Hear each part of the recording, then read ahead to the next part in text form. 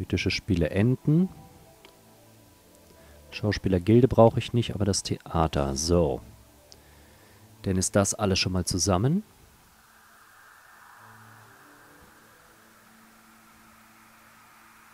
Wir bekommen immer mehr Leute. Arbeitslosigkeit ist bei 10%. Trotz der ganzen Dinge, die wir zusätzlich gebaut haben, aber es kommen ja auch noch weitere Leute in die Stadt. Wir könnten im Prinzip noch Wachposten bauen, die darauf aufpassen, dass die Leute hier nicht übermütig werden. Da will ich keinen Wachposten haben, aber hier könnte ich einen hinstellen, baue dann hier aber noch eine Sperre rein. Dann läuft er wirklich nur darum.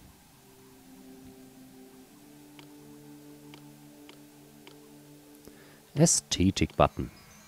Was brauchen wir sonst noch? Wir könnten noch ein Pier nach Eretria bauen. Naxos liebt sie, das ist schön. Ich liebe dich auch. Ne, hier passt kein Pier mehr. Schluss aus mit den Piers. Mit dem Piercing.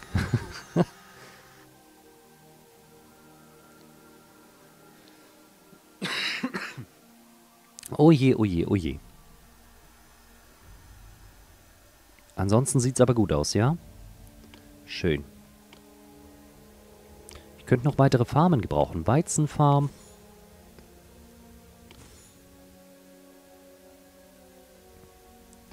Okay.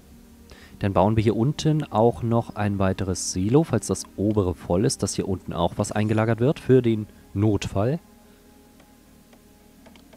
Noch 15% Arbeitslosenquote und fast die 1500 erreicht. Sehr schön. Was hat er jetzt für ein Problem? Der hat mir jemanden dahin geschlachtet, der eigentlich Wolle runterbringt, verdammt. Die schöne Wolle. So, alle Leute wurden mit Essen beglückt. Wenn ich jetzt noch die Möglichkeit hätte, irgendwie dafür zu sorgen, dass es hier schöner wird. Zufriedenheitsdenkmal verfügbar. Äh, ja, so viel dazu. Oh, Gelehrtendenkmal. Wir haben sogar schon einmal die panhellenischen Spiele gewonnen. Naxos schenkt Skulpturen. Uh. Lagerhaus. Lagerhaus. Lagerhäuser regieren die Welt. Da bitte Skulpturen hin. Die werden wir wahrscheinlich in einer der späteren Missionen gebrauchen.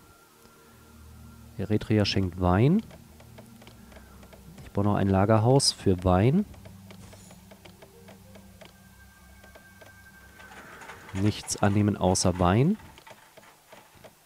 Den habe ich nämlich auch noch Wein übrig. So, und jetzt wollte ich eigentlich schon längst mal für die Ästhetik sorgen. Das heißt, ein Bevölkerungsdenkmal stelle ich jetzt hier mitten rein, mit Mang. Und schon wachsen sie alle hoch hinaus. Eretria schenkt Wein. Dankeschön. Zwölf strenge Wolle für Stympalos. Ist in Ordnung. Skulpturen annehmen. Acht konnten wir bloß annehmen, weil dann das Lagerhaus voll war. Naja, immerhin. Brauchen wir nicht produzieren. Alles ist gut. So, mein lieber Herk, Herkules. Wir brauchen nur noch 1500 Leute in der Stadt. Der Rest ist soweit durch. Wir haben sogar noch ein bisschen mehr Wein auf Lager. Cerberus ist niederzustrecken, nicht niedergestreckt. Theseus aus dem Hades retten.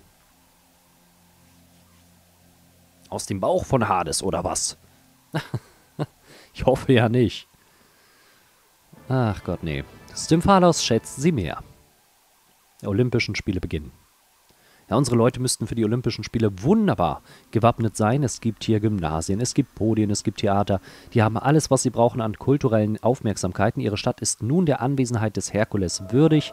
Den rufen wir gleich mal. Dann werden wir auch diesen ollen Cerberus endlich los. Oh, und dann werde ich erstmal sagen, dass wir keine Wolle mehr verkaufen. Ansonsten wird mir die zu wenig. Lemnos liebt sie. O Bisu, Licht des Lebens, ich Hypsipile. Von Lemnos zähle sie zu den Menschen, die mir am liebsten sind. Ich liebe dich auch, mein Freund. Wann heiraten wir? 18% Arbeitslosenquote. Ah! Verdammt! Wie konnte das passieren? Fischereihäfen. Theoretisch könnte ich hier noch Fischerhäfen hinstellen, aber das will ich gar nicht. Das kostet mir zu viele Arbeitskräfte. Ich, nee, zu viele Arbeitskräfte nicht freue mich auf eine Herausforderung. Ja, die wirst du haben. Anhand des Cerberus.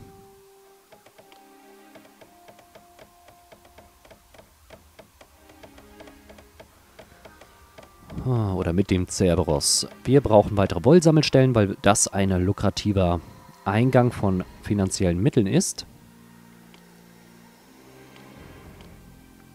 Olympischen Spiele enden. Das ist nicht so schlimm. So, weitere Schafe bauen. Können alle hier auf die oberste Etage. Cerberus wurde erschlagen. Oh, das wird Hades nicht gefallen.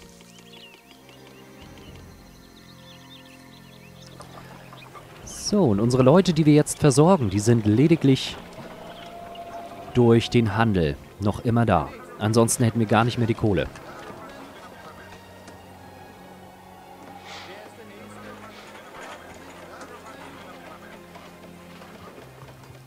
Fisch bekommen wir jetzt auch. Wir bekommen Fisch, Karotten und Weizen. Jetzt kann das Silo hier auch wunderbar funktionieren, dadurch, dass es auch Fisch gibt. Wein ist noch ein bisschen da und Wolle kriegen wir auch. Endlich wieder.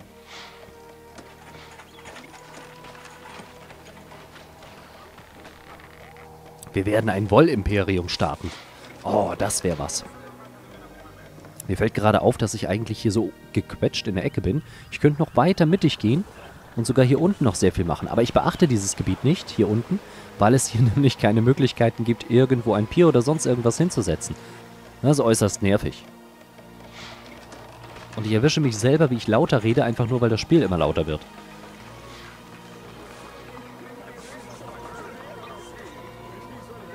Okay, die brauchen also alle bloß noch Olivenöl. Dann haben wir soweit alles, was wir brauchen. 21% Arbeitslosigkeit, äh, Arbeitslosigkeit, Arbeitslosigkeit, genau. So, dann bauen wir mal hier eine Straße hoch. Bauen noch einen weiteren Architektenposten. Man kann nie genug haben, die brennen hier sowieso alle regelmäßig ab. Dann bauen wir weitere Lagerhäuser für später. Wer weiß, vielleicht brauchen wir noch mal welche. Du nimmst nichts an außer Wolle. Du nimmst nichts an außer Holz. Du nimmst überhaupt nichts an. Obwohl doch, du kannst noch weitere Skulpturen annehmen. Marmor, Wein und Skulpturen werden uns ja ab und zu mal geschenkt, sodass ich da den Platz natürlich brauche. Außerdem bauen wir jetzt auch noch weitere Sägemühlen. Rohmaterial. Sägemühle. Hinsetzen. Wolle wieder verkaufen.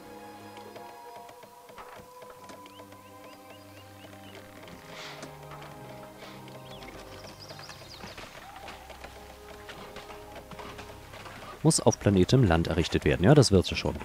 Früher oder später. Ach, verdammt. Amphoren mit Wein nehmen. So.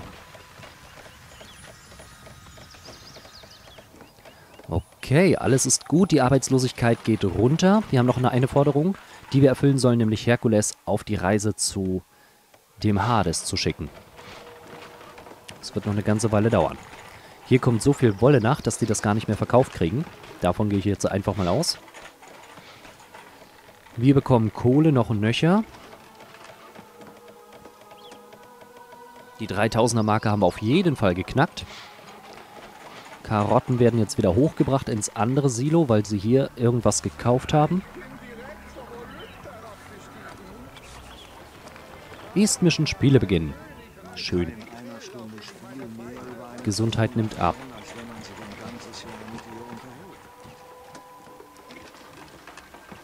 Ja, und es gibt auch seine Gründe, warum ich jetzt noch nicht fortfahren möchte und sehr, sehr viel Geld sparen will.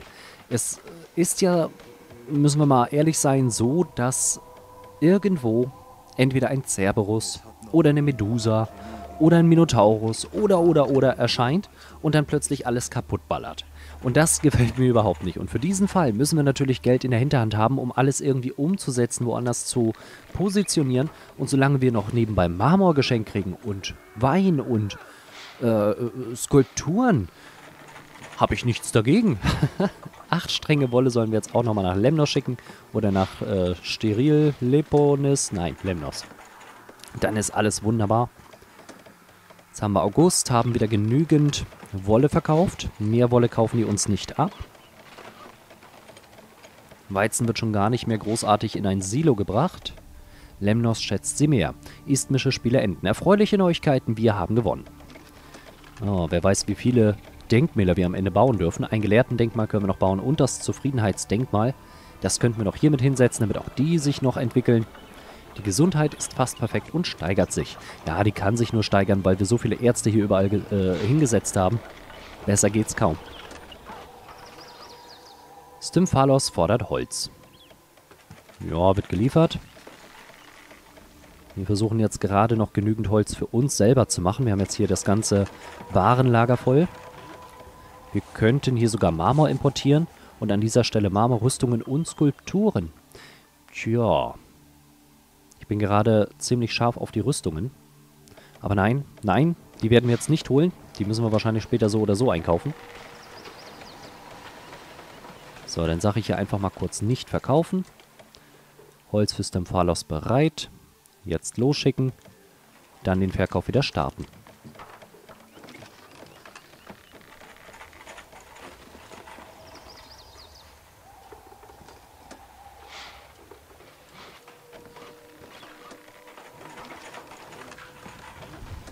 Eingestürztes Gebäude. Wo denn nun schon wieder? Ah, dann, jetzt läuft er nicht unten rum. Das ist ja nervig hier. So, gleich wieder erneuern. Fischerhafen. Und ich denke mal, wenn wir einen Palast und Steuereintreiber haben, dann kommen wir finanziell sehr, sehr gut aus. Wir machen ja jetzt schon einen, einen Riesengewinn mit Wolle und Holz. Ich sehe da überhaupt keine Probleme. Stymphalos schätzen sie mehr. Naxos braucht ebenfalls acht Holzbretter. Sollt ihr bekommen, meine Lieben. Naxos, Forderung erfüllen. Zurück zur Stadt, gleich wieder weitermachen. Gott, bin ich nett. Man nannte mich auch Nettie. Und wir haben so viel Wolle, dass jetzt das zweite Lagerhaus schon bestückt wird. das freut mich sehr.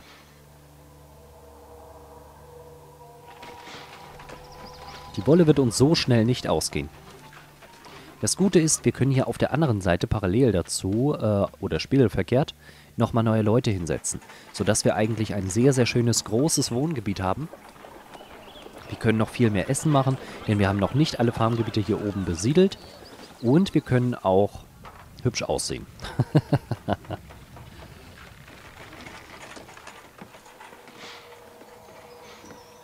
So, es wird weiterhin verkauft. Aber ich denke, ich werde an dieser Stelle die Mission auch beenden.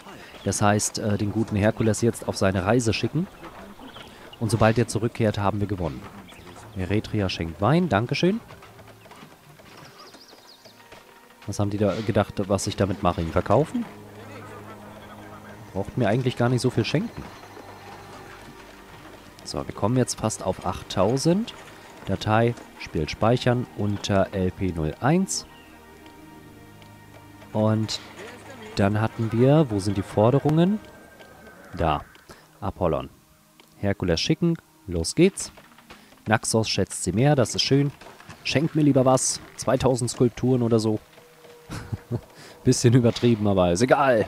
Her damit. Ja, und dann bin ich gespannt, wie die nächste Mission aussieht, ob wir dann wieder eine neue Kolonie bauen oder hier in dieser Kolonie äh, bleiben und endlich einen Palast mit Steuereintreibern errichten dürfen. Die nemeischen Spiele beginnen.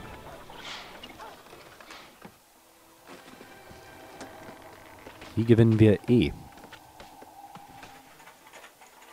Verkaufen können wir aktuell nichts mehr. Die Leute haben alles gekauft, was sie kaufen wollten. Wir könnten vielleicht mal gucken. Da ist Herkules unterwegs zum Hades. Äh, Stymphalos braucht und fordert. Treusen ist uns gleichgültig gegenüber. Wir haben nur die beiden und Eretria. Und Käse will ich nicht herstellen. Also bleibt's dabei bei Wolle und Holz. Wir haben immer noch 12% Arbeitslosigkeit. Dank Ihnen und Herkules ist Theseus aus der Unterwelt zurückgekehrt und kann wieder durch Griechenland ziehen, um neue Abenteuer zu suchen. Er hat ihnen ausrichten lassen, dass der Schlüssel, um alle Möglichkeiten von Iolkos auszuschöpfen, im fernen Kolchis liegt. Im fernen Kolchis? Ja, vielleicht muss ich die Stadt erobern. Wir werden sehen. Die Unsterblichen sind neuerdings ziemlich im Stress. Dionysos hat entdeckt, dass sie die treibende Kraft bei der Befreiung von Theseus aus der Unterwelt waren. Der Gott ist erfreut über diese Neuigkeit, denn er braucht Theseus Hilfe. Wer weiß, wenn sie Theseus überreden können, Dionysos zu helfen, könnte der Gott des Weines sie belohnen. Im Gegensatz zu Dionysos hat Artemis die Sterblichen satt. Es scheint, als könne eine Göttin nirgendwo mehr baden, ohne dass ein sterblicher Spanne sie behelligt. Die Göttin ist so empört, dass sie beschlossen hat, ihre ganze Sammlung von riesigen Hirschen, Ebern, Pferden, Löwen und Hasen in die Welt zu schicken, um ihrem Zorn über die Sterblichen Luft zu machen. Falls Sie einmal Theseus Hilfe brauchen, bedenken Sie, seine Halle muss in der Nähe des Palastes der Stadt liegen. Wenn Sie die Halle gebaut haben, rechtsklicken Sie darauf, um festzustellen, ob sie nahe genug ist.